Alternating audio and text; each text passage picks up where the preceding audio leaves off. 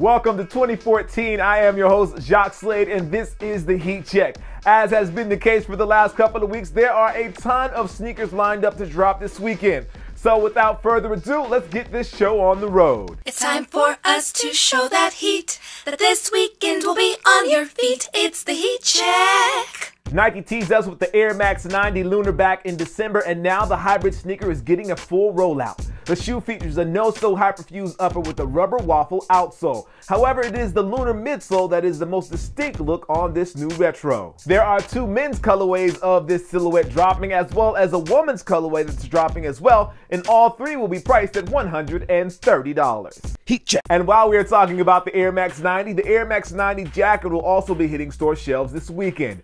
For those that have been in the game for a while, you will recognize the outsole from the Air Max 90 more as it blends the traditional outsole and a Nike Free outsole. These features a special jacquard print with several colors on the one-piece upper. Look for these to release on Friday. Heat check. And speaking of retros, Jordan Brand is introducing, or rather reintroducing, the Jordan Melo 1.5. A byproduct of 2003, the Melo 1.5 features a Denver Nugget colorway over the upper that was inspired by the Air Jordan 1 and 2.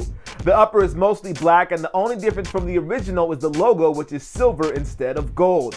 And for those that are into the details, the pivot point on the outsole features his birth date as well as his hometown. The Melo 1.5 will be hitting finish line this weekend on January 4th. Heat check. Jordan Brand isn't all about retros, and this weekend they'll be releasing their newest performance sneaker, the Jordan Melo M10. The model sits on the same frame as the Air Jordan 28 and shares the same cushy and responsive flight plate that actual ball players love to play in. The first colorway to drop is inspired by the New York Knicks, which you can tell with the powder blue upper and the team orange hits on the eyelets. The final touches on the Melo design sneaker include Melo's signature right there on the heel, and you can catch these this weekend for $165. Heat check. Kobe will have two shoes dropping this weekend, neither of which is the 9, unfortunately. On the team shoe side, we have the Kobe Venomenon in the court purple colorway, and on the retro side, we have the Kobe Prelude 5.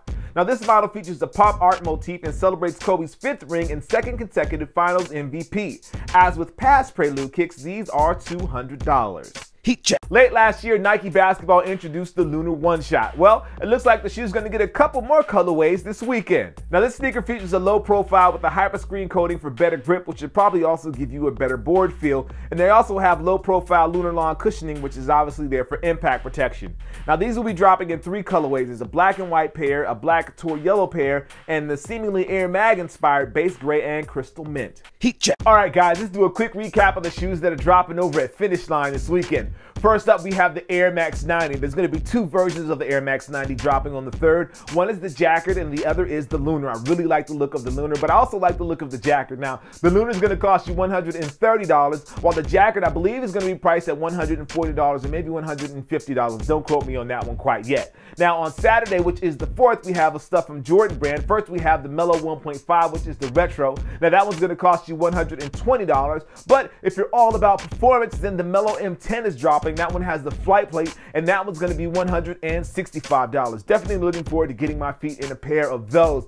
And finally, if you're a bit of an old school trainer guy, then we have the Nike Air Max Trainer 94. Now, these are dropping on Saturday as well, and those will be priced at $150. Heat check. But that's not everything that's dropping this weekend. If you are a skateboard fan, then the Lunar One Shot is dropping this weekend, and you'll see that in three colorways. But then there's the two shoes from Kobe as well. There's the Kobe Venomenon, which is the team shoe. That's dropping, as well as the Kobe Prelude 5, which is in the pop art motif, and that'll be dropping on Saturday as well. Heat check. All right, guys, before I get out of here, I want to let you know about a special promotion slash box kind of thing that Finish Line is doing if you buy the Nike Air Max Flyknit. Now, these are only available at 10 stores, and there's only 10 available at each store, but it's these boxes right here, which look really dope. There's only 100 of them. If you hit the link down in the description, it'll tell you which stores are actually going to have the box, so make sure you go and pick those up. Well, with that being said, make sure you like, favorite, and subscribe. That way you know whenever something awesome is happening right here on the channel. And also, visit the other links down in the description because it'll actually take you to the shoes that I'm talking about today in the video. Well, I am your host, Jacques Slade. This is the Heat Check presented by Finish Line, and I will see you soon. Peace.